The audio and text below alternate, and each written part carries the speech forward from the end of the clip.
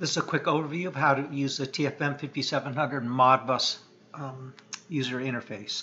Uh, first thing we need to do is we need to go to our discover our COM port. So we're going to go in Windows in the lower left corner, the magnifying glass type DEVICE Device Manager and click Device Manager and we're going to plug in the the serial um, port device. We're going to plug this device in, which is a Modbus, which is an RS-485 to USB converter. And we're going to let Windows enumerate it, and Windows will tell us what COM port it appears on. So Windows is busy enumerating. And come on, Windows. Plug it into another COM port. There we go. It's COM3. So now that we know that we're on COM3, we're, we're going to go down here, hit refresh, and TFCOM3, I renamed the COM port here. Also, when the, this device is plugged in, you'll see the screen. The address in this particular one is 255, so I enter the address here. Once we have those two things done, we can hit start. By the way, um, here's uh, these are helpful uh, website links that bring to the product here. You can um, you can uh, look at the driver website, uh, learn things about this particular driver. The reason we're using this one, this uses the FT232, which is a native to Windows. You don't need um, drivers. They're already in there knock on wood. And there's other suppliers, and this help video appears here. So I'm going to click next. I'm going to turn the flow on, and the flow meter will indicate the flow. The purpose of this screen is most people will be wanting to save data, and so we're going to we're going to change this to uh, S some number. It's going to change. It's going to create a file called tactical flow in the C tactical flow test 5600.x. And the purpose of the reference is if you know that the SCFH is really 420, you might want to put 420 here.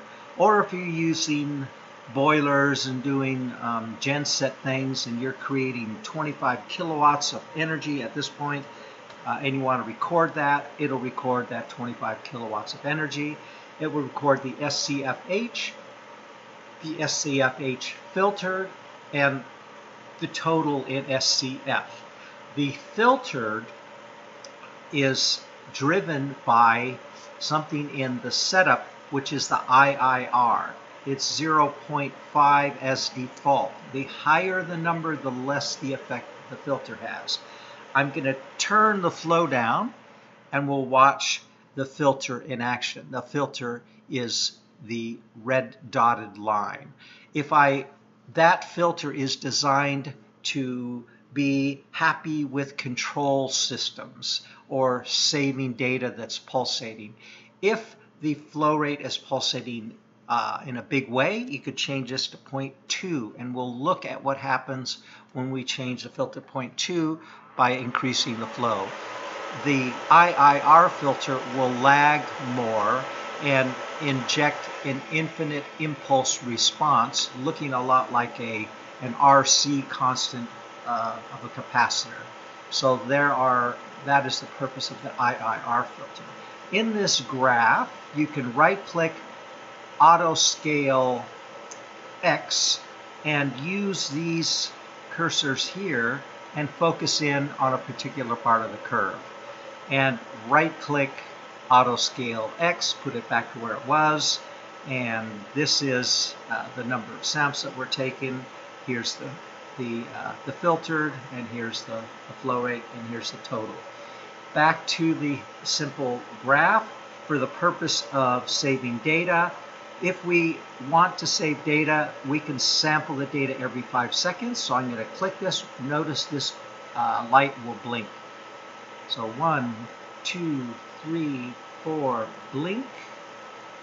And this is blinking telling you the saved save function is on.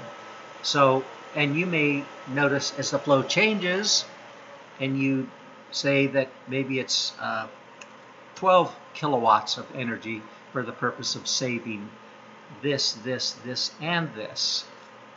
And uh, that is the setup is you can reset the totalizer.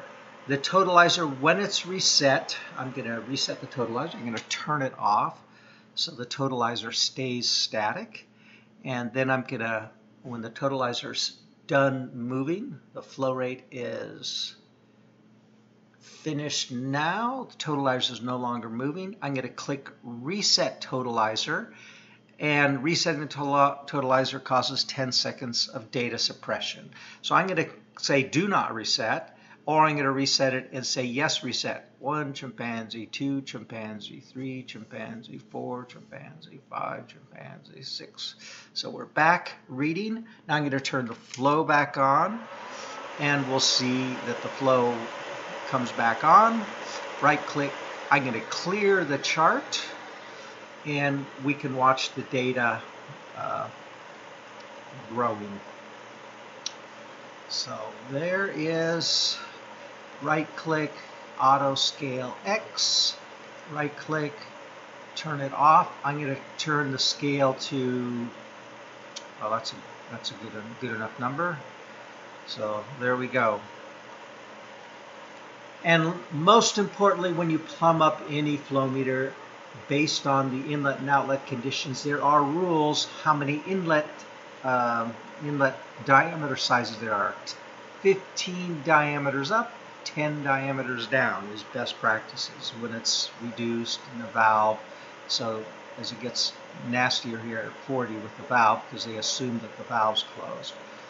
So now what I'm going to do is I'm going to um, pause and I'm going to open up, well I'll do it here, I'm going to take this, I'm going to turn the, the saving of the data off and I'm going to control C.